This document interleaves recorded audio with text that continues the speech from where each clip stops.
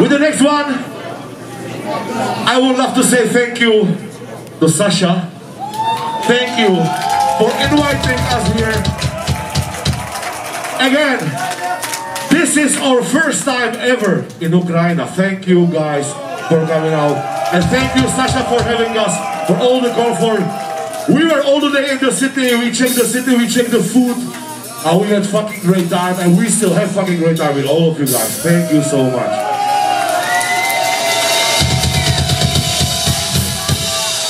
And this one is called Total Rectal.